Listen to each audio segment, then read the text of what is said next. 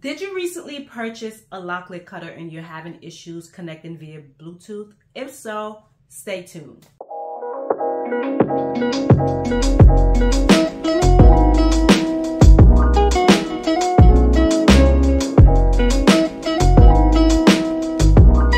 Hey guys, welcome back to another video. So in today's video, we are going to talk about the Loklik cutter and if you're having issues connecting it via Bluetooth.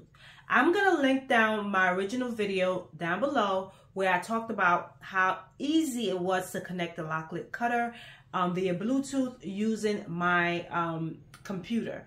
I am, for reference, I am using Windows. I do not have any Apple products, so I am using Windows, okay? So with the Windows, I had no issues connecting via Bluetooth. However, I did have a few people reach out to me stating that they did not have the same experience that I had and they were not able to connect via Bluetooth. They were able to do um, the USB, but not Bluetooth. However, there was someone that commented in my previous video that was very disappointed with the fact that she was not able to connect via Bluetooth. And I um, suggested to her to contact Loklik because you do have a one year warranty. But she came back, guys, and updated me, and now she is able to connect via Bluetooth. So let me tell you guys what was going on and maybe you're having the same issue and if you are you will be able to you know fix it and use the machine because honestly guys it was not the cutter's issue.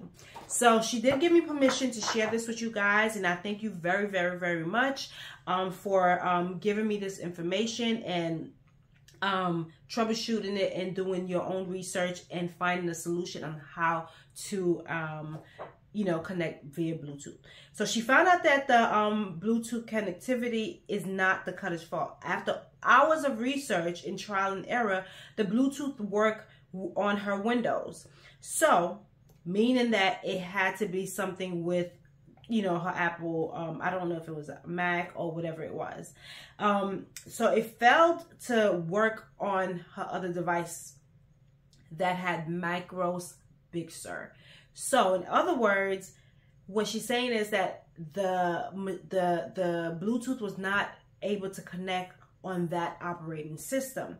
So after doing her research, she she says that um, that the Big Sur, the MacOS Big Sur has connectivity issues when dealing with third party devices. Okay, so in other words, if you do have MacOS Big Sur, there's a possibility that your Bluetooth may not work. So what she did was she updated her operating system to MacOS Monterey, I believe, and it connects perfectly.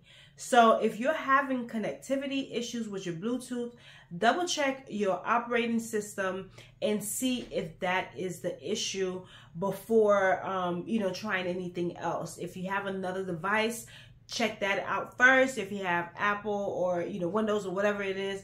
Um, um, check that out as well. So in other words, check your operating system. And if you do have Windows and you're still having issues, um, I would say connect via USB. And after you do that, go ahead and see if you're able to connect um, via Bluetooth because sometimes that works. I know that works with other cutters, um, other brand cutters that I have. Okay, guys.